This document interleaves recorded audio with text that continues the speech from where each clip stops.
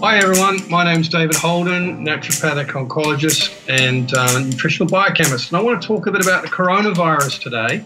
I know it's been very much in the media and a lot of people are concerned, and the authorities have really been quite derelict in saying you can't do anything, just avoid public places, cover your face, and if you've got any symptoms, ring your doctor. the reality is, there is a lot you can do to strengthen your immune system. So, let's begin with the basics diet. The key thing is to remove processed foods from your diet because they weaken your immune system. Uh, we have a test machine here, this one here called the Pharmanex S3 antioxidant scanner.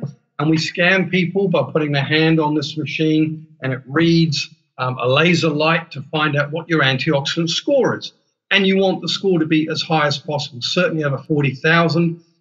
we do this test in the clinic what pushes your antioxidants up is eating a lot more of the bright colored vegetables and berry fruits. So, what's known as the ORAC score. Um, these foods, if you eat lots of them on a daily basis, you will push up the uh, antioxidant score on the machine very quickly and circulating your blood, which will give you more antioxidant protection against viruses and bacteria and other bugs as well.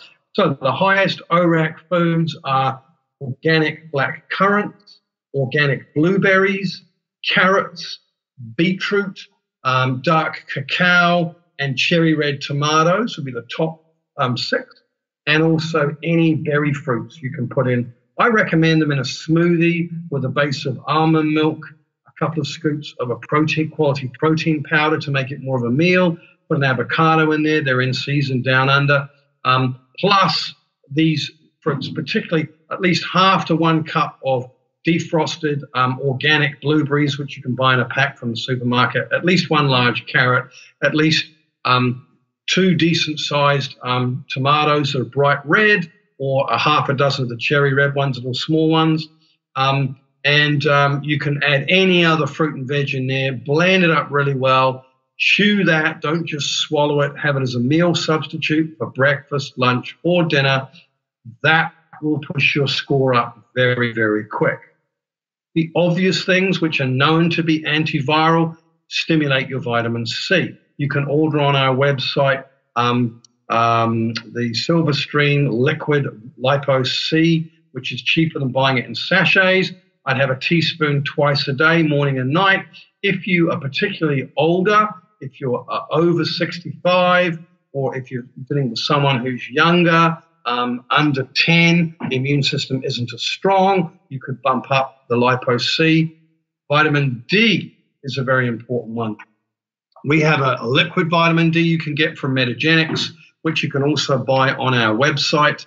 Um, it's a super liquid, well absorbed form, one mil for um, someone who's under 10, um, two mils for adults or the elderly um, straight in the mouth just before a meal, and it will absorb rapidly. And this will elevate your immune response and stimulate it by up to three times. So, people who are low in vitamin D have very low immune response. People who are low in vitamin C, very low immune response. What minerals can you take? Zinc is a primary immune system nutrient involved in over 60 different metabolic and biochemical pathways. If you don't have enough zinc in your body, it's a rate limiter to your body detoxifying chemicals, toxins, and viruses and bacteria out of your body. So you need to bump up your zinc levels. I recommend the clinician's liquid zinc. It's a little bottle you can get from the pharmacy, just eight drops in um, uh, milk. Almond milk would be ideal. Stir it in that. Get it down the hatch once a day. That will help a lot. Selenium is also a vital mineral for boosting your immune system, and the richest food source of selenium is Brazil nuts. So having four to say half a dozen Brazil nuts a day will boost your selenium levels. Now we can get all these tested by blood tests. Um, if you come in and see me, I give you a lab test form and I fill out the, the tick boxes for um, serum vitamin D, 25OH, um, uh, serum zinc, serum um, selenium, and in some cases, magnesium if the person's particularly stressed or worried. Now, we know that stress or worry is a major component in dropping your immune response and your um, antioxidant levels because they're consumed by the extra worry and stress that goes on. So, having a really good headspace, knowing that you are doing things to put you out of harm's way, obviously avoiding crowds, avoiding shopping malls, wearing a mask when you're out in public if the virus becomes an issue in New Zealand, which it hasn't as yet. So if you're weakened by another disease, if you're very young or very old, you're more prone to this infection. Um, and so you should take the steps I've just discussed, boosting your zinc, selenium, your vitamin D, and your vitamin C to boost the levels up. Now, there is also a very strong antiviral powder you can take from Metagenics called Super Mushroom Complex. And you can buy that off our website. You can stir that into a drink and drink that daily, and that will also boost your immune response. Mushroom extracts, medicinal mushrooms are known to wipe out viruses and bacteria and some fungi. So they are a very, very good boost for your immune response. A um, couple of other things that are important to having a healthy immune system getting plenty of exercise. We're in summer down under, so we're lucky compared to the northern hemisphere for the timing of this outbreak.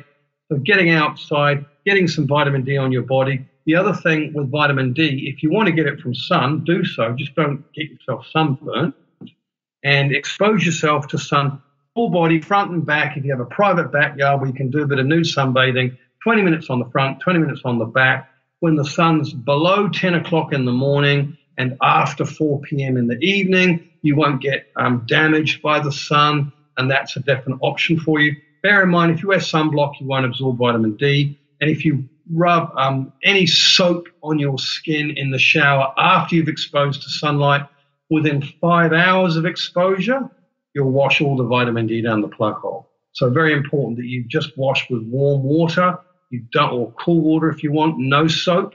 You can have a soapy shower the next day. By then, all the vitamin D, which forms a sebum on your skin, is absorbed. That is one of the best things you can do for boosting your immune system. Detoxing, I've done other video clips on detoxing, which you can, you can see on, on YouTube and on this website. Have a look at them. If you've never done a detox and you're over 40, you need to. And this is the perfect time of year to detox so have a look at that video clip. All the information is there. Detoxing involves flushing out toxic chemicals, solvents, um, heavy metals, whole range of bugs that you might come in contact with in everyday life. And a detox will broach all of that. Have a look at that previous video clip. Um, the other things I want to talk about, well, basically, I've covered all the basics. Now, if this condition, if this coronavirus um, epidemic does start becoming a major menace in New Zealand, I will come up with other strategies you can use. I note there's three practitioner companies are bringing out new products. They put us on notice that they're bringing out new products this month in February designed to boost immune responses. So I will give you an update on that in due course. The key thing is there's lots you can do to protect yourself. Having a, a, a lower stress state by learning meditation, doing some mindfulness exercises, some visualizations to power up your immune system, eating well, as I said before, avoiding processed foods, lots of salads, lots of berry fruits as desserts. Um, and I would recommend you avoid eating normal, what I call junk chicken. Chicken, when it's growing in big um, um, cages and in big um, contained areas, the animals are pumped with antibiotics, and this weakens their immune system, and it will weaken yours if you eat that flesh. Far better to go for free range chicken that's running around outside, breathing fresh air, it's getting vitamin D. That all the studies show that those chickens are much higher in vitamin D in their flesh, don't have the antibiotic load. It's a much healthier way to go. If you don't want to eat chicken, go for fish. If you don't eat meat, then just a lot more nuts and seeds, quality protein powders like the clean, lean protein powder you can buy in better health food stores and, um, and chemists. That always helps elevate your immune response because what does your immune system make antibodies out of? Proteins. You don't have enough protein, you don't manufacture enough antibodies. So that's a really key factor as well. I think that's covered the basics um, diet, exercise, supplementation, mindfulness. Those are the key factors. And I'll update this as time warrants. Hope that helps. If you've got any questions, don't hesitate to flick me an email, david at hhc.nz, or go on our Facebook page. Thanks for listening. I'll be in touch soon. Bye for now. Stay well, stay happy, get out in the sun, enjoy this beautiful sun.